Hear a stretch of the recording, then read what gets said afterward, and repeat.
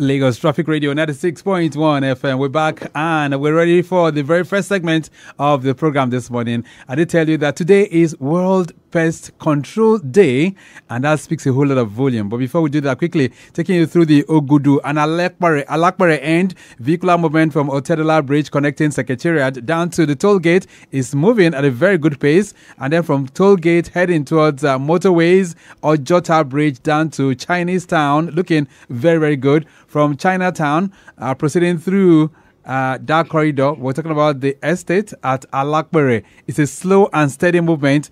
Uh, that's because we have some pedestrian crossing activities within that particular location. Immediately after estate Alapere, connecting Ogudu and if I go down to Car Wash, it's a smooth drive as we speak right now. Return journey from Bagada Bridge and Olopo connecting Car Wash down to Otedola Bridge is very, very good. That entire stretch is very, very nice. No breakdowns cited within that uh, corridor. I'll be back for some more, but uh, let's uh, just take some little time to reflect a bit on World Pest Control Day. And the question I'm going to be asking you is when was the last time you did a kind of uh, pest control, either in your compound, in your homes, in your offices? When did you fumigate last? All right, my guests are here. They'll shed light on that. I've got Elder Michael Somoye. He's the MD of uh, Michayoshow Enterprise. And uh, of course, he's someone who's been very much in the industry uh, when we talk about environmental sustainability. Elder Michael Somoye, nice to have you in the studios. Good morning. God bless you. And how are you doing, sir? I'm fine. Wow, it's been a long time we had uh, a conversation and a long time we saw actually. So, how is life going on with you? Beautiful. Beautiful. That's great. I also have in the studios this morning PCO Olabisi O. Dennis. He's the National Public Relations Officer for the Pest Control Association of Nigeria, PECAN. Uh, Olabisi Dennis, nice to have you in the building. Good morning. Morning, sir. It's, it's a pleasure being here today. Let's talk about uh, the very, very essentials right now. World Pest Control Day. Elder Somoye, what's the essence of this day, really? Is to create awareness, to let people know that there are so many things that is uh, affecting their life negatively, not Mm. positively this time. Right. Because pest is a something that is very I mean, troublesome, causing vexation, that is causing sorrow, causing annoyance. So we should tell people what the importance of pest to the whole citizenry. Right. Why we should take care of our of our life. Prevention is better and cheaper than cure. All right, so let me come to Dennis. So, what are pests really? For those who might not be very familiar with that term, when we talk about pests, what are they?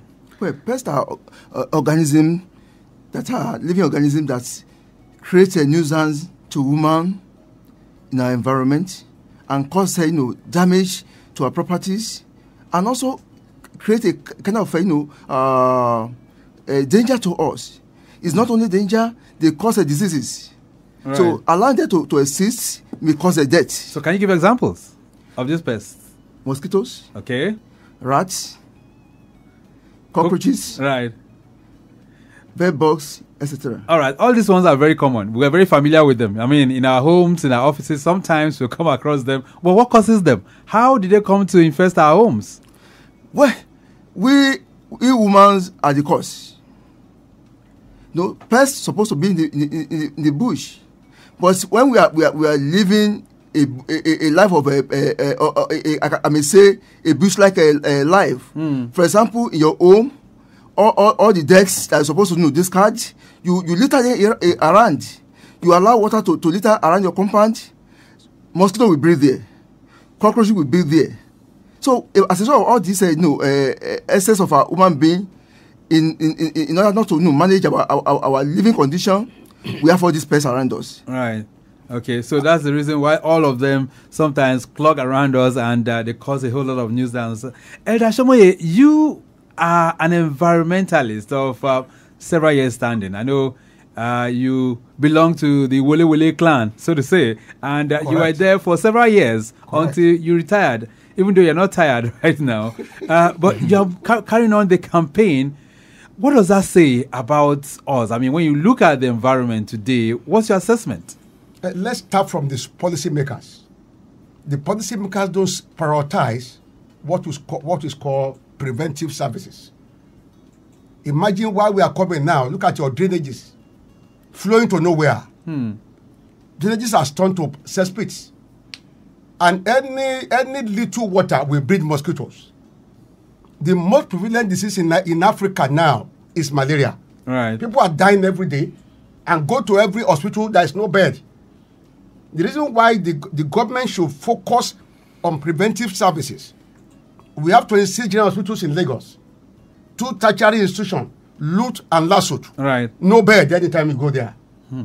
To tell you people are, I mean, sick, people are suffering, and we are just looking at it.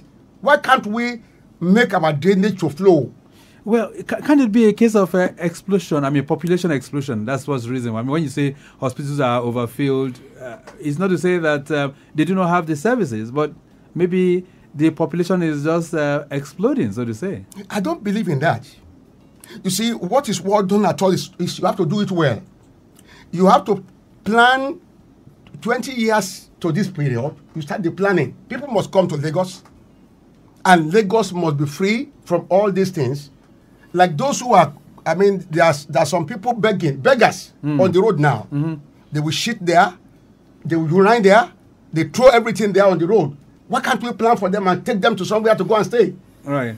Okay, so that that's a very very. Uh, I mean, when you talk about policy, it's, it's going to be very very uh, technical.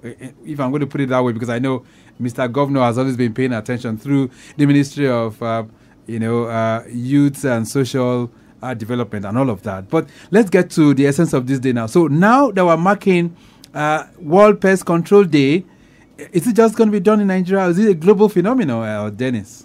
Well, let me correct uh, one thing. It's not a World uh, Pest Control Day, it's a World uh, Pest Day. Oh, it's World Pest Day. It World Pest Day. Okay. Exactly. It's being celebrated, it's been, uh, being commemorated throughout the whole world. Okay. As we are doing in Nigeria today, they are also doing in other countries of the world. Right. So they also have their own pest, pest issues too. Yes. Ah, in, in India, in Jamaica, Eh, exactly. in the US. Yes. they them. Because I know there's a t- certain time, even in New York, uh, they were talking about uh, rats infestation and all of that. Mm-hmm. Uh, so you could have that. So once we have pests around us, what is the first thing that we're supposed to do? Elder Somoye. The first thing is to do what we call pest work.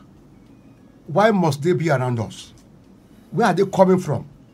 A house near a poultry will have snake infestation. Hmm. If you have a visitor to your house, you should expect that that person can bring in what we call bed bug. And only one can start to, man- I mean, it is hermaphrodite Right. to start to multiply. So if you have a visitor, for instance, the next thing is to do pest disinfestation. While that visitor has gone, do then you are safe for that while. Right. So how do I do that?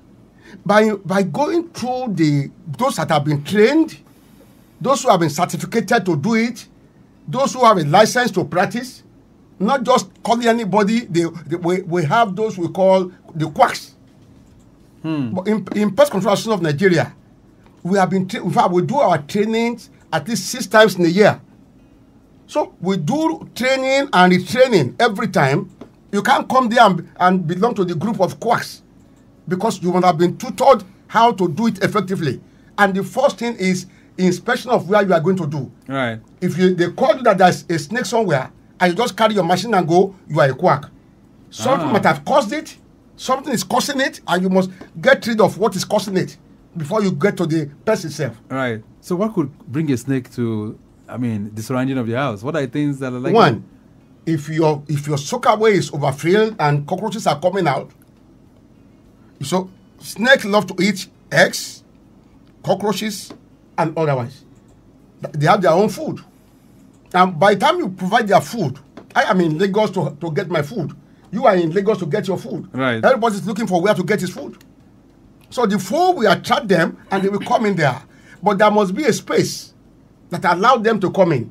And where the head will pass through, the body will also pass through. Okay. The head is the most important thing. God has done that head corresponding to your body. Right. Once your head goes goes in, the body will follow. Also follow. So anywhere you have an overfilled soakaway, it's likely going to attract a snake, right? It will affect. It will affect. It will attract. Dennis, Yes. wh- what other pests can, I mean, draw attention to one's home? You, Yes. talk, you talk about bed bugs, right? Uh, exactly, fleas. For example, uh, we, we have a ticks, we have fleas. For example, if you are if, if you are rearing a dog in your compound, you should know that you are you, you if you are you, you don't take care of your of your dog very well you don't treat it don't take it to veterinary what will happen is that uh, you have ticks in that compound Hmm. Okay. So how many times should one fumigate one's home? well at least quarterly Every quarter. exactly So we're talking about every four times in a year. Three times, so four times in the year. Exactly. correct. Four times in the year. Exactly. All right. So does it matter the, type of fumigation, or is it general? Uh, Elder Somoye? It depends on what you have we have we are facing.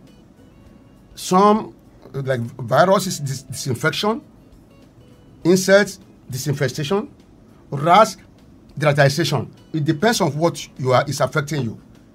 Bed bugs, for instance, you disinfect, and you don't wait until a quarter before you do that. The hmm. moment you have bed bugs in your house, you know they are, they they don't they, they don't play with man. They suck blood. Hmm. They have no other food but to suck blood. And once you allow, they, you will not be able to sleep. It causes insomnia. You will not be able to sleep. So why do you allow them Right. in your house? All right. So who can do fumigation? Who, who, who- is qualified to fumigate house?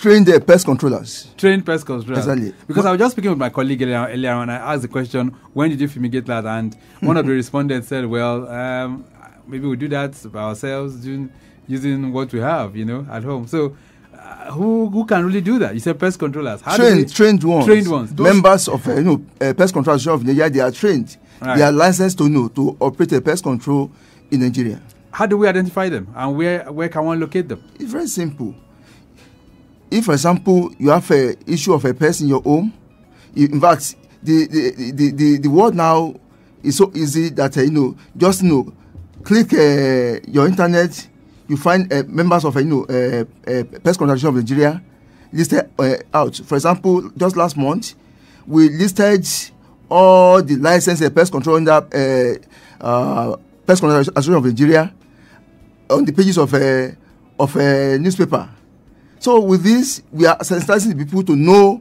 the certified the licensed and no members of uh, of our body association Right.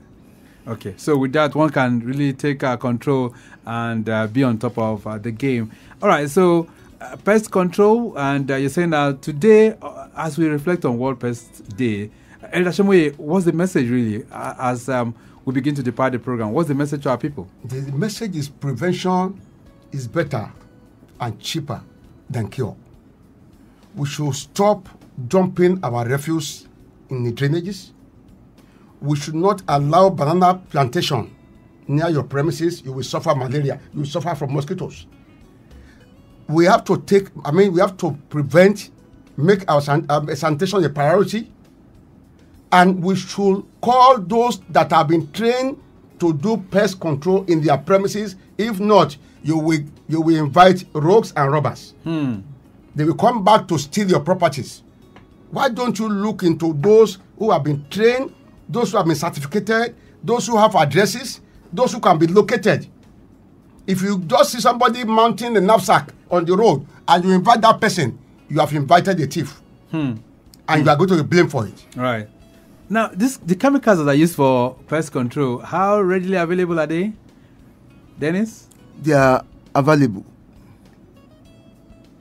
And one can get them easily, right? our members can get them easily Okay. not for for the generality of the people those who don't know about uh, how to know use the chemicals So it has to be specifically uh, requested. For. exactly All right. We'll leave it at that for now. Any contacts you want to leave us with this morning as uh, we depart the program? For those who would like to connect with the Pest Control Association of Nigeria, what are the numbers? And if you want to connect with you or Elder Somoye, what are the numbers?